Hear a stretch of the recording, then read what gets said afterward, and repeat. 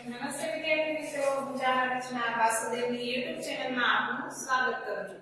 આજે આપણે ધોરણ 5 માં વિષય હિન્દી, જેમાં આપણે પાઠ 16 16 નું નામ, પાઠ 16 પાઠનું નામ છે પહેલી. પહેલી આપણે ગુજરાતીમાં શું કહેવાય? તો કે ઉઠાણ. બરાબર?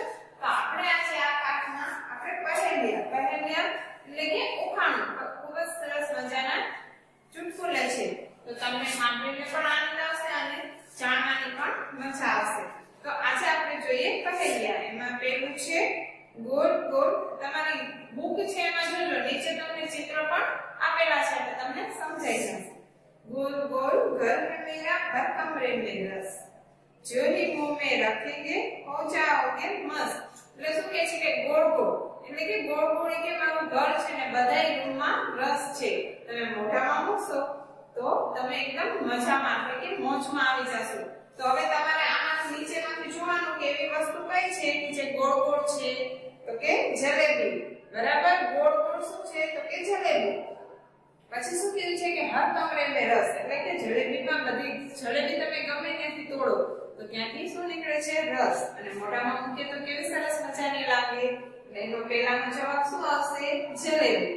પછી બીજું છે. એટલે આપણે પહેલાના જવાબમાં શું લખવાનું છે?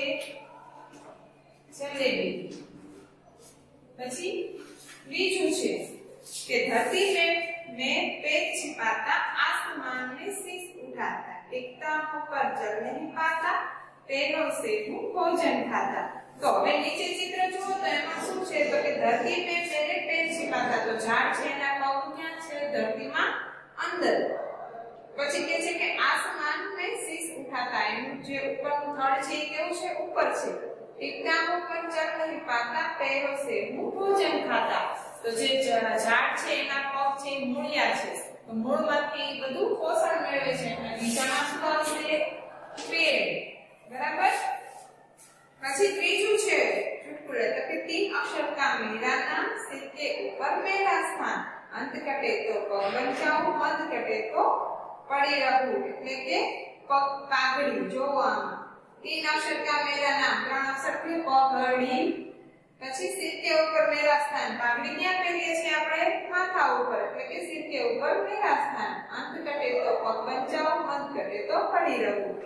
છેલ્લે જ્યારે આપણે પૂરી કરીએ છીએ, તો કે અંત ઘટે તો પગ બંચાવ મન ઘટે તો પડી રહું. એટલે એમાં શું આવશે ત્રીજામાં? મઘણી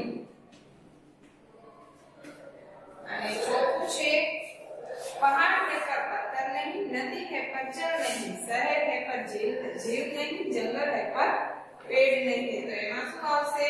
તો કે નકશો. તો કે નકશો કેવી રીતે? તો કે આપણે નકશામાં જોઈએ છે એમાં બધું પહાડ ને એવું બધું દોરેલું હોય છે, નદી કઈ જગ્યાએ છે એ આપેલું હોય છે, શહેર આપેલા હોય છે, જંગલ આપેલું છે. પણ શું છે? પે જંગલ હે પર પેડ નહીં. એટલે જો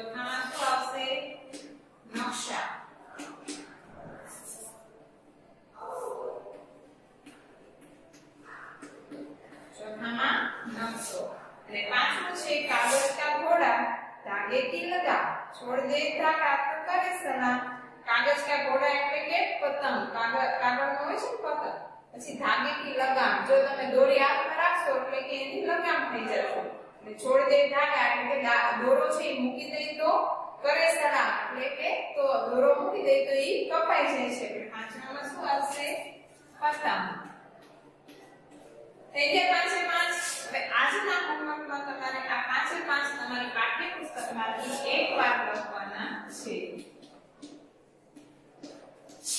બરાબર?